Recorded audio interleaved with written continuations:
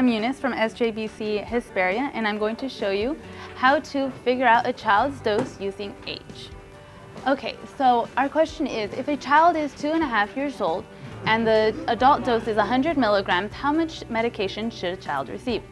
So first we're going to use an equation which is the age over the age plus 12 times the adult dose. Okay, so our age is right here, and our adult dose is right here. So 2.5 over 2.5 plus 12 times 100 milligrams. So it's 2.5 over 14.5 times 100 milligrams equals 17.24 milligrams. And then we just round that to 17 milligrams.